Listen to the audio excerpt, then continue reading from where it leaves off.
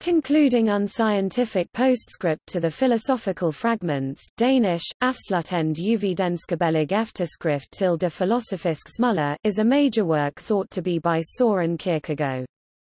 The work is a poignant attack against Hegelianism, the philosophy of Hegel, especially Hegel's science of logic. The work is also famous for its dictum, subjectivity is truth. It was an attack on what Kierkegaard saw as Hegel's deterministic philosophy.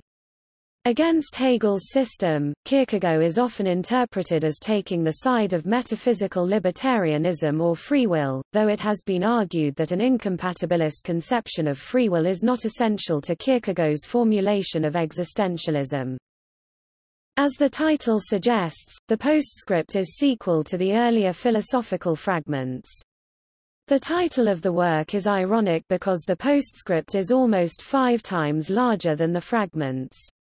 The postscript credits Johannes Climacus as the author and Kierkegaard as its editor.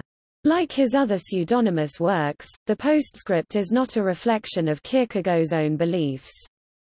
However, unlike his other pseudonymous works, Kierkegaard attaches his name as editor to this work, showing the importance of the postscript to Kierkegaard's overall authorship.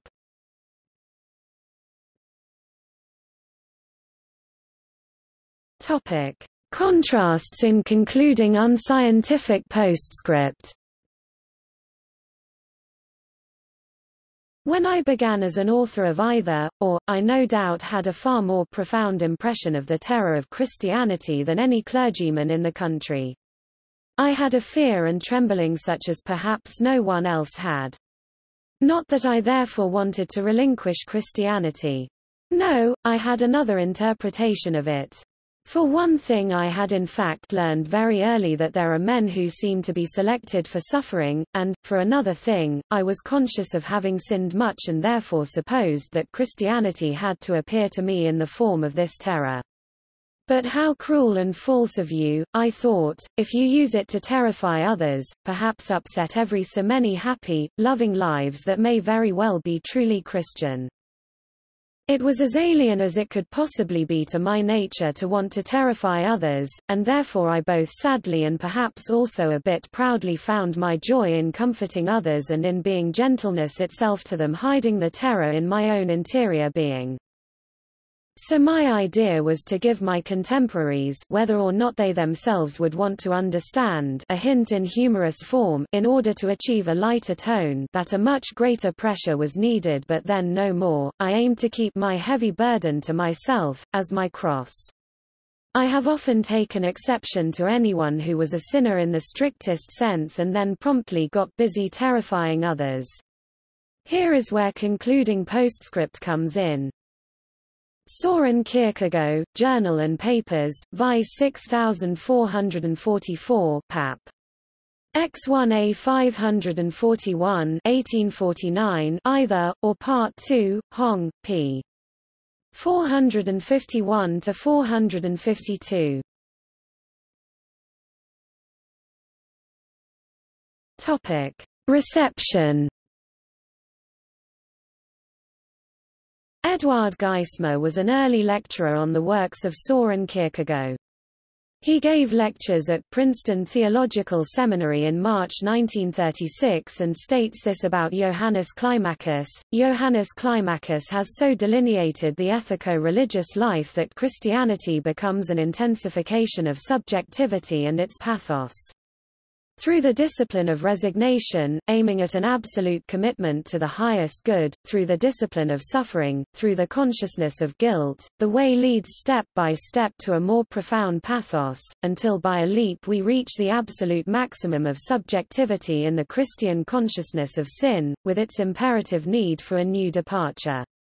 The Christian revelation is not a set of propositions, but a creative act of the individual who has been prepared to receive it in part by the very discipline of human idealism, and who through this creative act becomes a new creature. But no birth is without birth pangs and no revelation is without an experience of suffering. The way to Christianity goes through a decision, a crucial decision in the temporal moment. Faith is an existential leap. The necessity of this leap is what gives offense to man and to all human idealism. Eduard Geismar, Lectures on the Religious Thought of Soren Kierkegaard, p. 57 Augsburg Publishing House, Minneapolis 1937 Emil Brunner mentioned Kierkegaard 51 times in his 1937 book Man in Revolt and wrote a semi-serious parody of Kierkegaard's idea of truth as subjectivity by making truth objectivity in 1947. The phrase everything is relative is spoken emphatically by the very people for whom the atom or its elements are still the ultimate reality. Everything is relative, they say, but at the same time they declare as indubitable truth that the mind is nothing but a product of cerebral processes. This combination of gross objectivism and bottomless subjectivism represents a synthesis of logically irreconcilable, contradictory principles of thought, which is equally unfortunate from the point of view of philosophical consistency and from that ethical and cultural value. Apart from this last skeptical stage, it must be said that modem spiritual evolution has been taking unambiguously the line of a more or less materialistic objectivism. This chapter of human history could be headed to parody Kierkegaard's phrase, the object is the truth. It cannot, then, be a surprise to see man more and more engulfed in the object, in things, in material being, in economic life, in techniques, in a one-sided, quantitative manner of thinking, and in quantitative standards of value. In the sphere of material being the quantum is the only differentiating factor. Material being is merely quantitative being. An objectivist understanding of truth expresses itself, therefore, not merely in terms of practical materialism, but also in a general quantification of all life, as it may be seen in the craving for records in sport, in pride in the growth of cities of millions of inhabitants, in respect for the multi-millionaire, in admiration for great political power. Reverence for the quantum is, so to speak, the new version of the worship of the golden calf. It is an inevitable consequence of the objectivist conception of truth, the object is the truth. The question as to whether Kierkegaard was an existentialist was brought up by Libuse Lukas Miller. She wrote the following in 1957, Kierkegaard, who is falsely hailed as the father of modern existentialism, used the existential dialectic never as an end in itself but always as an offensive and defensive weapon in a battle on behalf of the Christian faith deliberately planned to meet what he thought were the special apologetic and evangelistic needs of his historical situation, and, therefore, the Kierkegaardian existentialism should be regarded rather as the exception than the rule in existential philosophizing. And Kierkegaard himself should not be called the father of modern existentialism.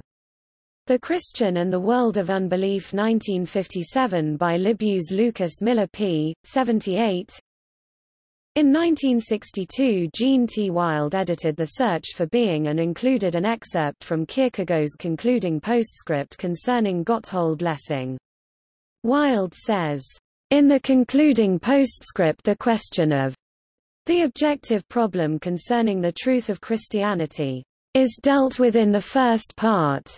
Kierkegaard shows that neither historically nor speculatively can we have objective knowledge of Christianity's truth or of its untruth. He says, a logical system is possible, but an existential system is impossible. In 1963 Kenneth Hamilton described Paul Tillich as an individual who was as anti-Hegel as Kierkegaard was. He was referring to Kierkegaard's distrust of system builders which he discussed in the concluding unscientific postscript p. 13 to 15, 106 to 112. The first total opponent of Hegel's standpoint was Soren Kierkegaard, father of modern existentialism. Hegel had many critics in his lifetime, but they were mostly those who attacked his system because they believed that they could construct a better one themselves. But his Danish critic attacked him for being the most consistent system builder among system builders. In the name of Christian faith Kierkegaard rejected not this or that element in Hegelianism but the whole, referring to it in mockery as see the system. So it happens that the issue of system versus the Christian faith has been debated more than a hundred years ago. And that encounter between system and anti-system is very relevant to any examination of philosophical theology today. Certainly Tillich, who is often critical of Hegel, nearly always speaks in praise of Kierkegaard, and he gives such an important place in his own thinking to the category of existence that he seems at times to be traveling in the Danish thinker's footsteps. The System and the Gospel A Critique of Paul Tillich by Kenneth Hamilton 1963 Macmillan Press p. 37.